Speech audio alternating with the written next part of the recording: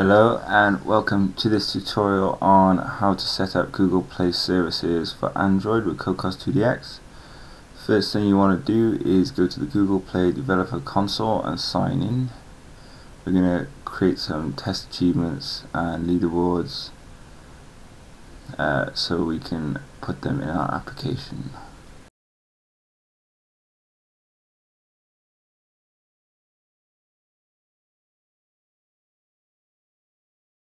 So once you've signed in, you want to go to the game services on your left and add a new game. Don't worry about the linking apps.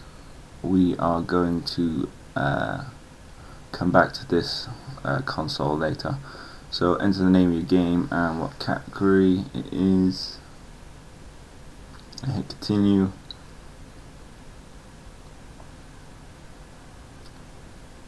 And here you can add achievements and leaderboards and events. And yeah again don't worry about linked apps so I'm gonna add an achievement. So you can add names. You can make it incremental hidden revealed and choose how much it's worth. Incremental just you know if collect 50 stars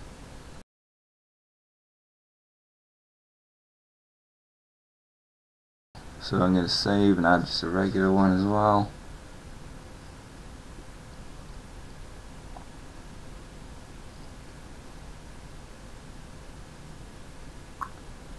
Right, once done that, uh, you'll notice it has application IDs. You're going to want to make a note of them because we will be using them in the code.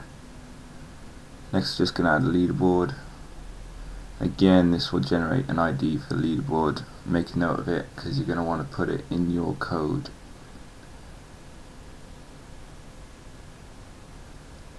Once you're happy with your achievements and leaderboards, uh, make a note of your app ID at the top. And again, all your achievements and leaderboard IDs Once you've done this, the next thing we're going to want to do is to download the helper classes which was made by a user uh, C Pinyan. I'll put the link in the description. Uh, basically these just help go from Cocos2d-x and do native Java calls. So if you just download the zip and once you downloaded it, uh, extract the files extract the zip.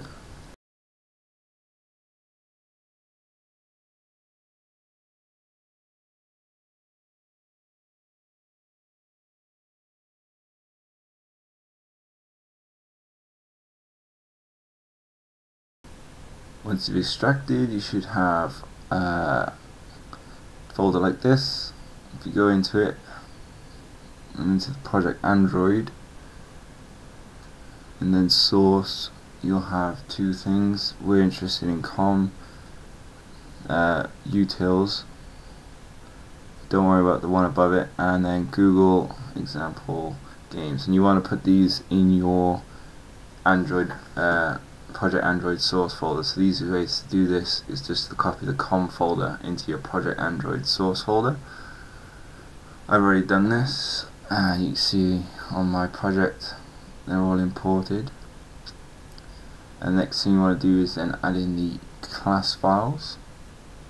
So you can call these functions which is native utils and JNI helpers and just copy them into your classes folder. And you see I've done that. And once you've done that don't forget to uh, add it into your android.mk otherwise it won't compile. So now we've done that, we're going to get the Google Play Services uh, library and you're going to want to go to the SDK Manager at the top of Eclipse.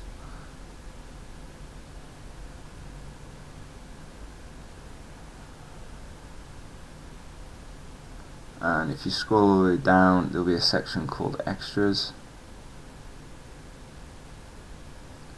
And if Google Play Services not tick, tick it and install it once that's installed we are going to be importing it and it downloads to your wherever your Android SDK is, your Android folder, uh, and then the folder called extras. So you're going to click File, Import Existing Code, and then browse to your Android folder.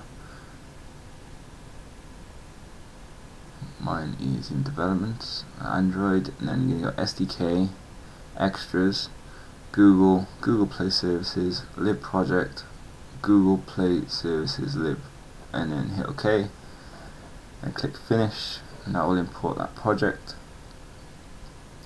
And we're going to add that to our project by right clicking on your project and go to properties.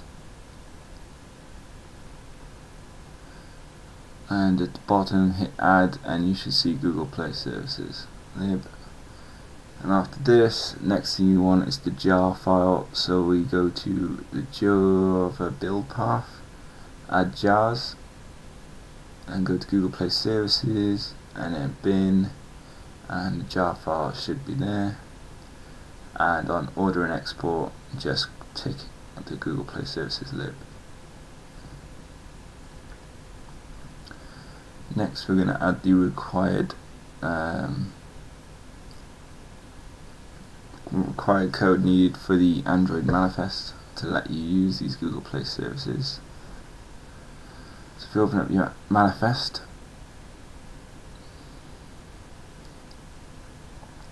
I'll put this code in the forum post or in the description so you can just copy it. You just want to copy that into your manifest and it will moan about at string forward slash Google Play game app ID because you haven't defined that yet but we'll be doing that in the next step. And apart from those definitions you're going to want to add the internet um, permission as well. And I've added it at the bottom of this file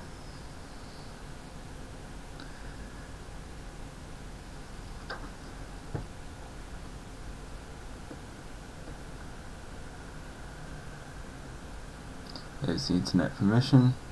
So once you've done this, you're going to go to resources folder and then values and then strings XML.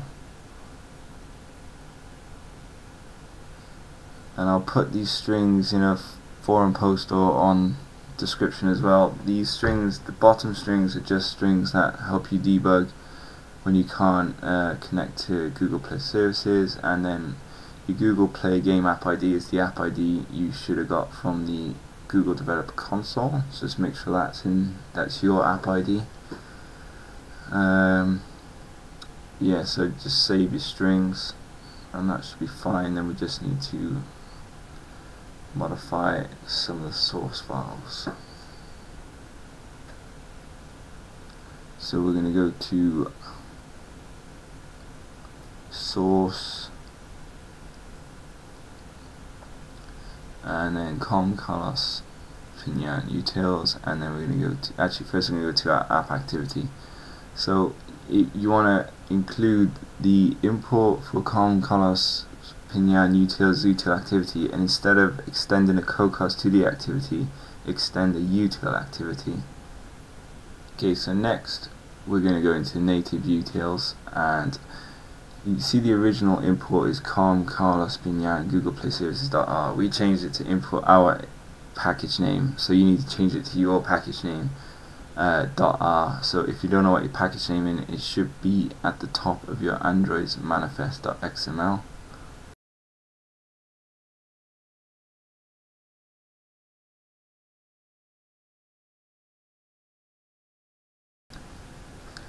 So next we're going to add our achievements and the leaderboards IDs if you have them. We've just got achievement IDs for this project. So I've got the client ID and application IDs at the top. Uh, I think they're for setting up on the iOS side. So when you come to do iOS, you'll probably need to add them in. Um, and yeah, we just defined our achievement strings. Um, just to make life easier and keep them all in one place. Just add your strings. Add all your IDs and then you can use them just by including well whatever you've named the definition file so signing in. So if you're going to sign in you might want to do it on the splash scene. You would need to include native utils at the top. And then you would do something like if native utils unquote is not signed in then sign in. And then if you go to native utils header you can see all the functions you can call. So is signed in sign in sign out. You can submit score with your leaderboard ID and then the score. You can unlock an achievement by passing through the achievement ID you can increment an achievement. So if you have an achievement that's like you have to uh, break 50 bricks you'd pass through how many steps or how many how many bricks they've broken and then once you hit the required amount it'll automatically unlock. And then show achievements, show leaderboards you might want to use and show leader a specific leaderboard. You'd probably use them on like when you click a button show achievements.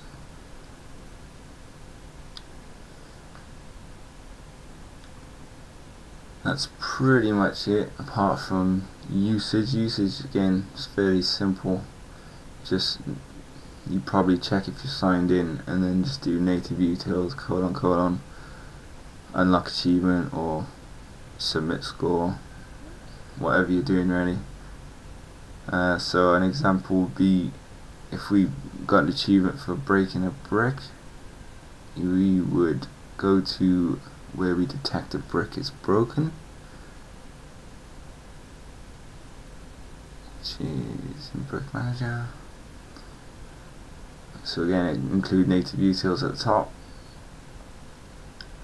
And ignore the achievement stuff above it. It's just a different way of doing it. Uh, you could just do native utils unlock achievement and then pass through which achievement you want to unlock. And then a, you probably want to do a check to make sure you're signed in before you try and unlock achievement So you just do if native utils is signed in and then unlock the achievement. And that's pretty much it for usage. Um, next we're just gonna do the final steps on the Google Developer Console. Once you're happy with the app you want to file and export it and sign it with your uh, key and you're gonna make sure that is that's going to be the application you're going to upload to the Google Store so if you add your application, if you already added it, just go to your APK, upload it under alpha or beta or production if you've already released it. I do alpha first for testing because you don't have to release it to test. Uh, so after upload your APK there, I already uploaded mine. So then go back to game services and click on the game service that you created earlier. Then go to linked apps and click on Android and then type it self type in your package name it will find all your apps from uh, in your accounts and you just link it with it and click save and continue.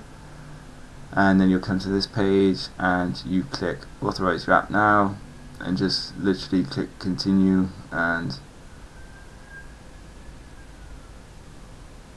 uh, create client. And it's as simple as that really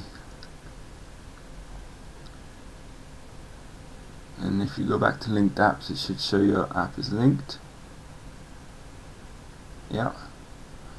And then finally go to testing and just make sure everybody's email you want to be able to test is added to the testers because you won't be able to sign in otherwise.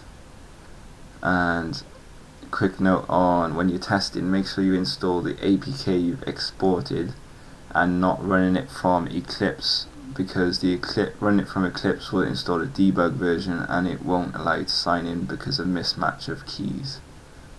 So hopefully you found this helpful. Uh, thanks for watching.